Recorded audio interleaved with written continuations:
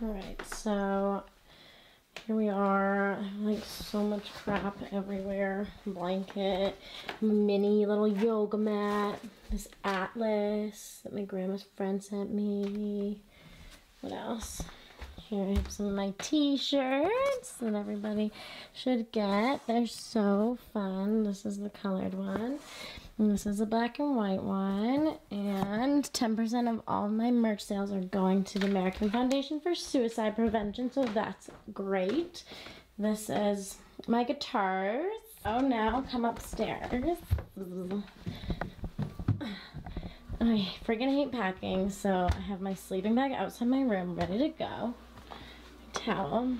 I'm leaving tomorrow morning. This is my room. Current state of affairs. It never looks like this, I promise, but this is like everything that I'm thinking of maybe taking with me, strewn somewhere. Got my ukulele.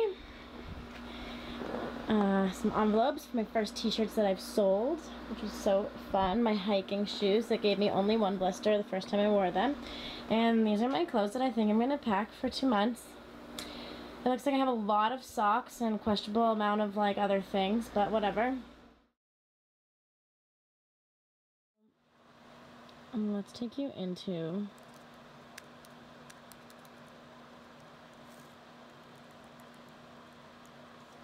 my Google Sheet. Aaron and I made this Google Sheet back in like March or something, or January. This is our schedule. Things that are yellow are places where we're going to like national parks. These dark blue guys, this means that we're going to be driving at night. Wish us luck. These are some of the venues. These are the beautiful, lovely, giving people who we're staying with. Bless them. And those are all the places we're going to sleep. These are all the venues that I've emailed in order to book my shows. Just to give an idea. I totally understand why people have booking managers. So, this whole tour has been like a DIY craft project. It looks like I'm up to 204. Actually, hold on, there were like four empty cells. So, like 200. 200 even. Yellow means yes, black means nobody ever answered, and red means no for some reason. Don't know why.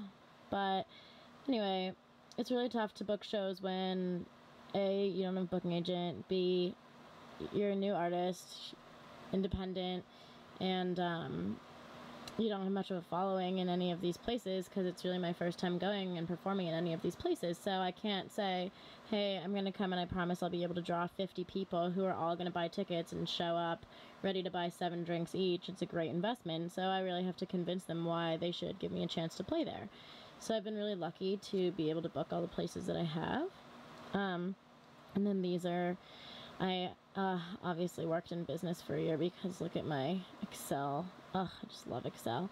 Um, Google Sheets, my Excel expired and I'm not paying for that again. But anyway, this is all the stuff for like where I'm playing, the date, blah, blah, blah, the venue, the time, who's playing with me, the booking contact, how are we going to make any money? Are we going to make any money? Probably not. And then these are places I've been emailing for press. This is like a new thing I just started. I literally have no idea if I'm doing it right. Probably I'm not. I like sort of wrote a press release. I'm sort of just begging them to maybe write about me in order to get more people to come to the shows and just to maybe have my music played on some local radio stations and blah blah. I thought that would be fun. So that's what I've been doing. A lot of coffee shop a lot of co- coffee shop days just started drinking coffee so it was very fitting um, but yeah, that's pretty much the spreadsheet.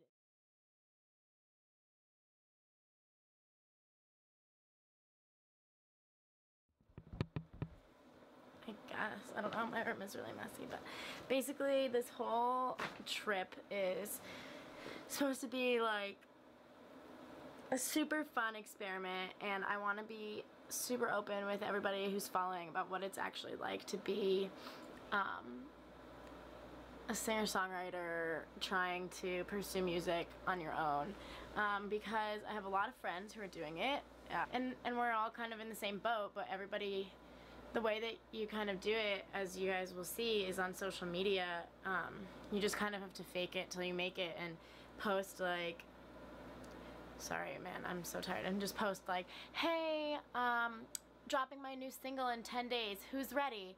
And I like I've totally posted that before, and when I post that, like, I know who's ready. My mom, my dad, my grandma, and like probably the five friends who I've already sent the mix to because I needed help with edits. And that's just like the truth of it. But I'm but you have to post that because people want to see what you're doing. People want to see your success, and and so that's not really who I am as a person. I'm very open and you'll learn that too. Um, and like brutally honest, and I just like to have a good time and be myself. And I think that by posting things like that, like, yeah, I want that because I want to be successful as a musician, but I also just want to be like, be myself and play my music and hope that people really want to follow me because they like my music and because they want to hear what I have to say, just like I want to hear what everybody else has to say. Um, so that's really what I'm going to be doing in this vlog. You're going to see me uh, hoping people show up to my shows. Um, probably like breaking down a couple times because I run out of time to do things or I don't know. I don't know what. I don't know what to expect. My car will probably break down. Aaron and I will probably kill each other, but I think it'll be great. It'll be really fun.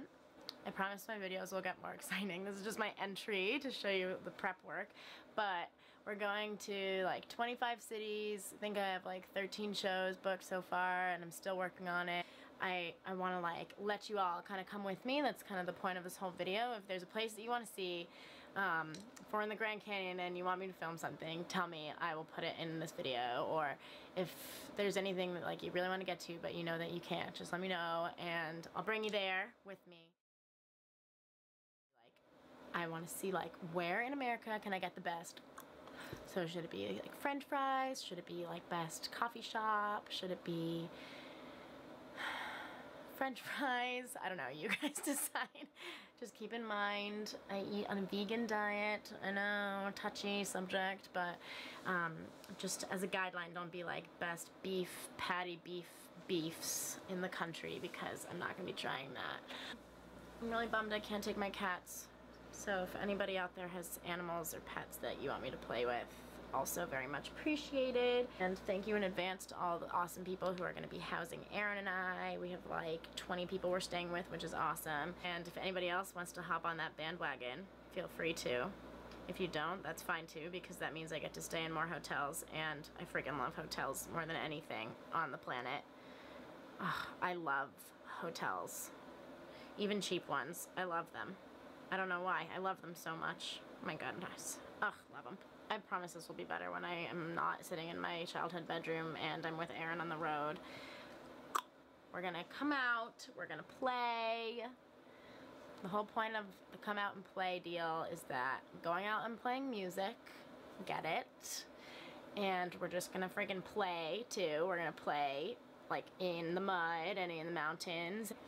And I want everybody who comes to a show to just come out and play. Like, come hang out, be child. I wish I could take every single one of you with me, but my car is extremely small. Unsure if it's even gonna fit all of our stuff. Well, all of my stuff. Erin's literally showing up in the morning. She has one freaking backpack, like one pair of boots, and a sleeping bag. And I'm like, so tell me what you want me to try in every city. Tell me if you have friends you want me to hang out with. Tell me if you have animals across the country that I can come and pet and please keep watching. I promise it'll be really fun, and I can't wait to, to fuck, I don't know, man. I suck at this. Bye! Say that again. Tell me what's wrong. You have to wait until we're done laughing about it. Did you, didn't you hear? We're under pain overworked. Slaving away with these elastics, and they keep snapping my fingers. I've already worked eight hours today. Time for licorice. Dad, have you ever worked uh, in retail? it's not one piece of licorice per t-shirt.